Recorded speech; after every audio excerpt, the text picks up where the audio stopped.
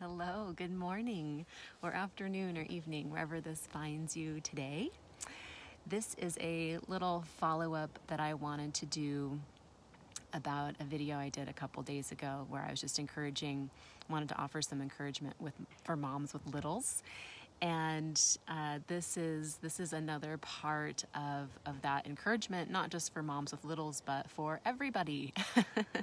I'm jessica amos. I am a mindfulness teacher and a boundaries and relationship coach. And this is a really important subject that's been coming up a lot for me lately especially in the last couple days, I've been on a road trip with my kids. We're not too far from home, but we're just sort of wandering um, down the Northern California uh, mountain range. We're in Mount Shasta right now, and I, they're they're almost 14. My son's almost 14, and my daughter is 15.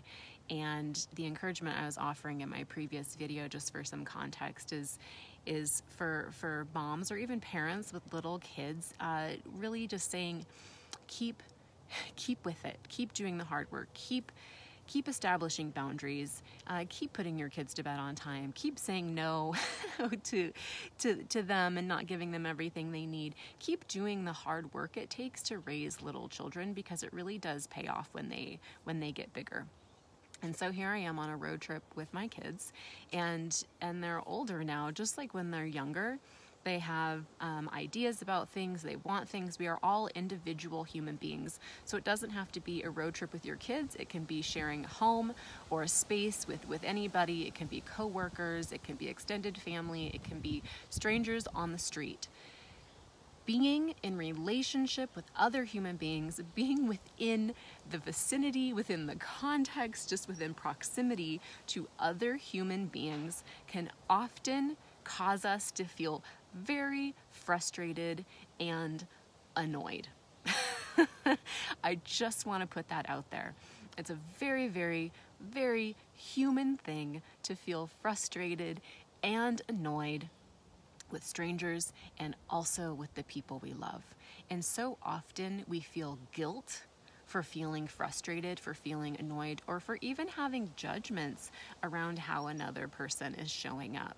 And Sometimes this has to do with our capacity. Um, an example, just a small example, is uh, yesterday. Well, this road trip is kind of bringing it out with me and my kids. We're just we're in the car together. We're very tightly bound together, and even sharing a house and a space, and going on hikes and meals. Right? We're all individual peoples who sometimes want different things and are experiencing different things. So, an example yesterday is. Um, we are going uh, to this new place because we're on a road trip. We're in a new place. We're going to go on a hike and we're going to go and visit some lakes, maybe do some swimming. But I've never been here before. And I'm also a highly sensitive introvert. I'm social. I love people. I love being out in the world. I love exploring new things. But it takes a lot of energy and effort for me to do those things as a highly sensitive. I get anxious in groups and crowds. And so we're showing up at this parking spot in this beautiful nature spa- space and it's full of people and it's full of cars and I don't know where we're going and I have to park and I have to figure out where all the stuff is and I'm overwhelmed and I'm kind of getting some anxiety. So I have to manage that and then I have to manage that I have these two other humans who are looking to me for where we're going. And on top of it, my daughter is like, why are all these people parking in the middle of the street? And she's asking me these questions from her own anxiety, right? Um, and and I just kind of snapped back at her. I don't know if I was, I was kind of sarcastic, I was kind of demeaning. My whole tone was just like, why do you care? What's it matter, right? And I didn't say it like that, but it was, um, those weren't my words, but that was my tone. And um, it got her to be quiet in the moment so I could focus on me. But then later, when we were having dinner that evening, the kids were sitting and having a conversation about a conflict they had had earlier in the day about who gets to sit in the front seat of the car.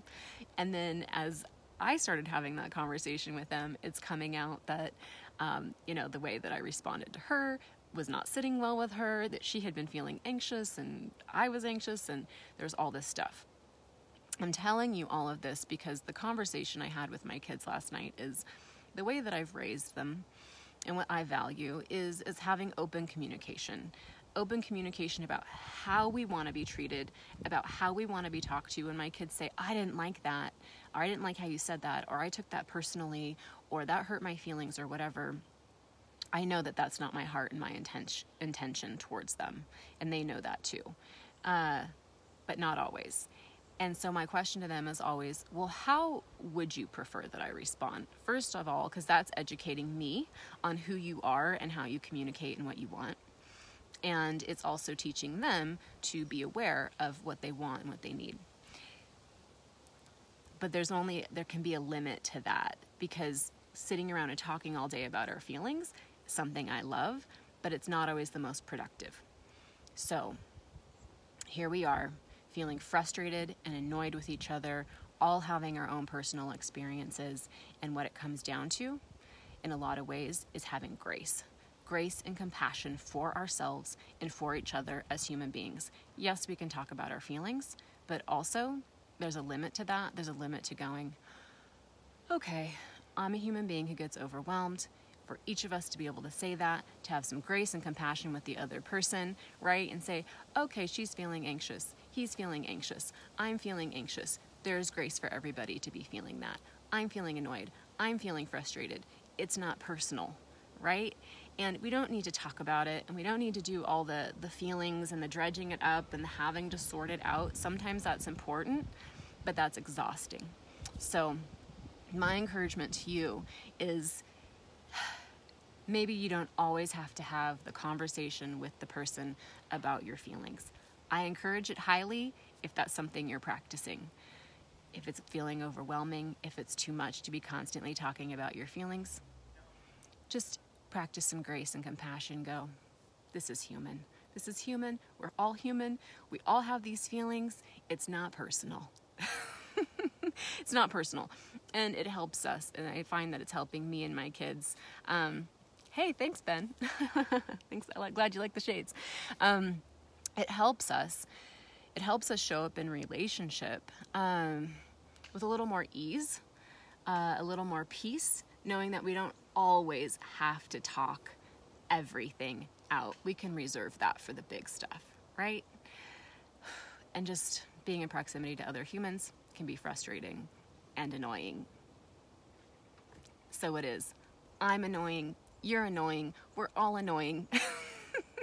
and we're all fabulous and we're all wonderful and we all deserve to show up however we are, okay? So let that be okay. It's totally okay. Uh, yeah. All right, I hope you're having an awesome day. I'm enjoying this beautiful sun in the backyard. We're going to go on another hike today and do some more exploring.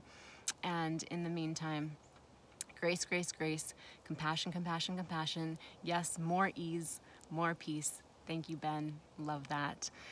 Thank you for being here with me. Remember to stay with yourself today. You do you. Lots of love. Bye.